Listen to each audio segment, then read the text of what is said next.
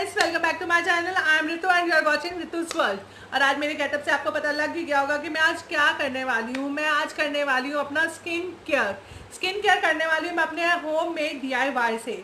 Guys जो D I मैं आपके साथ आज शेयर करने वाली हूँ, उन डी को मैं अपने पिछले दो साल से अपने फेस पर यूज़ कर रही हूँ और मुझे इसका बिल्कुल भी हार्म नहीं है।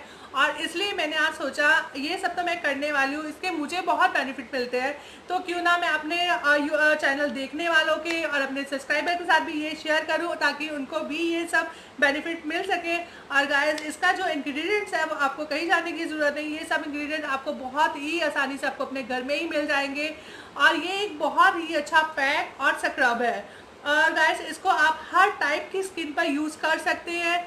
और चलिए स्टार्ट करते हैं अपनी वीडियो और अगर आपको मेरी ये वीडियो पसंद आती है तो प्लीज़ मेरी वीडियो को लाइक करें और मेरे चैनल को सब्सक्राइब करें, जिन लोगों ने अभी तक सब्सक्राइब नहीं किया, ताकि मेरी हर वीडियो आप तक पहुँच सके। और प्लीज़ बेल बटन को भी ज़रूर क्लिक करें। और चलिए स्टार्ट करते हैं अपनी वीडियो और मैं सबसे पहले इसमें बताऊँगी मैं कि मैं अपने फेस पैक और फेस स्क्रब में कौन से इंग्रेडिएंट यूज़ करने वाली हूँ। और सबसे मैंने इसमें रॉ मिल्क लिया है और रॉ मिल्क से मैं अपने फेस को अच्छी तरह से साफ़ करूँगी और आपको पता है कि रॉ मिल्क जो है वो हमारे फेस में बहुत अच्छी क्लिनजिंग का काम करता है। और सबसे पहले मैं अपने फेस को रॉ मिल्क से क्लीन करूँगी।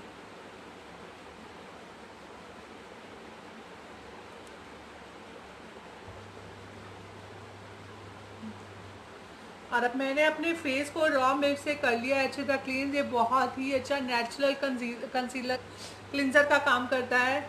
और गाइस अब इसके बाद मैं इसको अपने सिंपल वाटर से क्लीन कर लूँगी। और मैंने इसको सिंपल वाटर से कर लिया है क्लीन और अब स्टार्ट करते हैं अपना फेस स्क्रब सबसे पहले मैंने शुगर को कर लिया है क्रश और मैंने वन स्पून क्रश की हुई शुगर ली है। और जिससे आपकी स्क्रबिंग बहुत, और उसके बाद मैं यूज़ कर रही हूँ इसमें नेस्कैफे कॉफ़ी का पैकेट बना रहे हैं कॉफ़ी स्क्रब और इसमें मैंने लिए क्रश शुगर और मैंने एक पैकेट लिया है कॉफ़ी का। और अब मैं, आपके पास कोई भी इंसेंशियल ऑयल आप यूज़ कर सकते हो। मैं इसमें नारियल का तेल यूज़ कर रही हूँ। इसमें मैं सिर्फ़ दो तीन बूंदे ही नारियल के तेल की डालूँगी।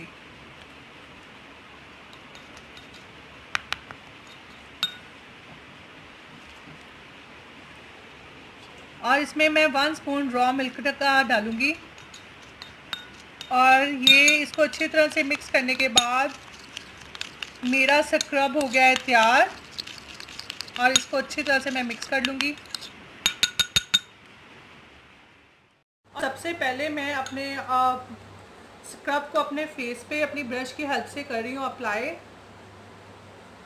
और गाइस ये बहुत ही अच्छा स्क्रब है। आप प्लीज़ मेरे कहने से आप इसको एक बार ज़रूर यूज़ करें। आपको बाज़ार से स्क्रब लाने की क्या ज़रूरत ही नहीं पड़ेगी। इसमें मैंने जो, आपको पता है कि जो मैं इसमें कॉफ़ी का यूज़ किया है कॉफ़ी आपके लिए बहुत ही अच्छी, आपकी स्किन को ग्लोइंग करती है और एक स्किन वाइटनिंग का काम भी करती है। इसमें कुछ ब्लीचिंग प्रोडक्ट्स होते हैं जिससे आपकी स्किन वाइटनिंग का काम भी करती है।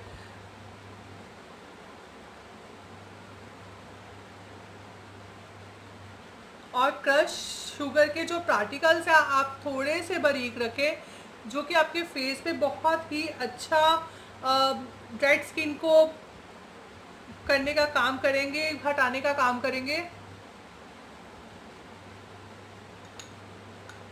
और फिर मैं इसको अपनी हाथों से अच्छी तरह से अब इसको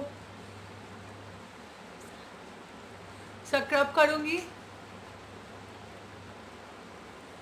तो गाइस ये बहुत ही अच्छा स्क्रब है और शायद इसको एक बार अगर आप यूज़ करेंगे तो आपको दोबारा कोई बाज़ार से स्क्रब लगाने की ज़रूरत नहीं पड़ेगी। और इस लॉकडाउन में तो आपको पता है कि शॉपिंग का या सलून जाने का अभी हम सोच भी नहीं सकते। तो ये आपके लिए ये स्क्रब इस टाइम बहुत ही हेल्पफुल होने वाला है। अगर ये स्क्रब थोड़ा सा ड्राई हो जाता है आपके फेस पे तो आप थोड़ी सी पानी लेके और इसको अपने फेस को अच्छी तरह से स्क्रब भी करिए। और ऐसा आपको फाइव टेन मिनट्स करना है।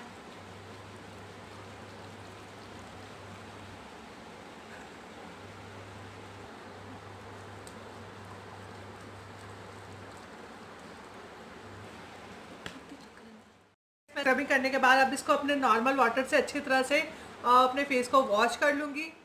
अपने सिंपल वाटर से अपने फेस को कर लिया है क्लीन और आप देख सकते हैं कि तरह स्क्रब के साथ ही मेरा फेस कितना क्लियर हो गया और डेड स्किन तो बिल्कुल भी मेरे फेस से जैसे गायब ही हो गई है।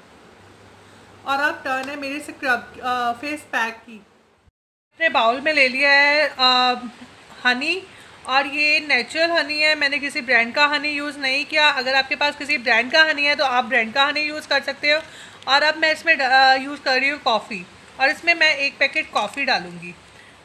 और ये क्या है? लेकिन बहुत ही मिल्क भी डाल दिया है, जिससे कि ये थोड़ा सा फेस पैक टाइप क्रीमी आ जाएगा। और आप इसको अच्छी तरह से मिक्स कर लें। और अपने फेस पे टेन मिनट के लिए अप्लाई करें। और ये बहुत ही अच्छा फेस पैक है। और चलिए अपने फेस पे यूज़ करते हैं इसको। ब्रश की हेल्प से अपने फेस पैक को अपने फेस पे अप्लाई कर लूँगी।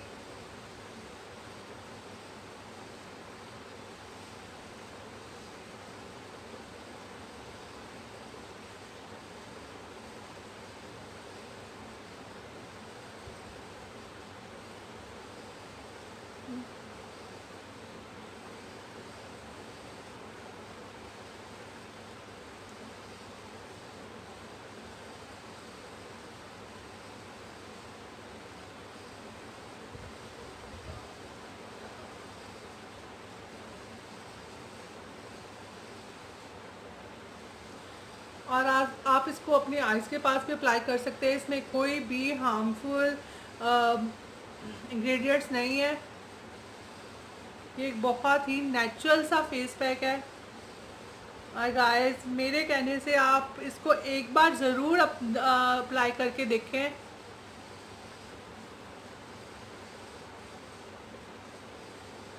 ये मेरा जो डी है आपके लिए आ, बाहर वाले स्क्रब फेस पैक से बहुत अच्छा रहेगा।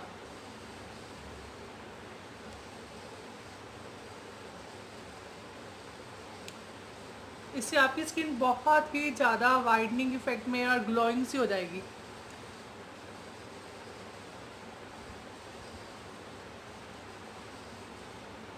जब भी मुझे अपने फेस पे थोड़ी सी पिगमेंट लगती है या कुछ भी मुझे फ्रेशनेस ही नहीं फील होती तो मैं यही फेस पैक अपने फेस पे अप्लाई करती हूँ। इससे मेरा फेस मुझे बहुत ही फ्रेश सा लगना शुरू हो जाता है।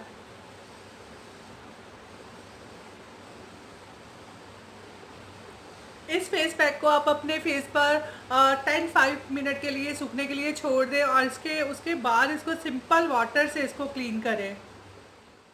मैंने फेस को क्लीन वाटर से कर लिया क्लीन और गाइस आप देख सकते हैं कि मेरा फेस कितना ग्लोइंग लग रहा है और मेरे फेस से जैसे डेड स्किन बिल्कुल ही गायब हो गई है। और चैनल को सब्सक्राइब नहीं किया तो मैं मेरे चैनल को सब्सक्राइब कीजिए और मेरे कहने से प्लीज़ मेरा एक बार मेरा ये डी ज़रूर अपने फेस पे अप्लाई कीजिए। और बाय गाइस मिलते हैं नेक्स्ट वीडियो में कोई नए डी के साथ।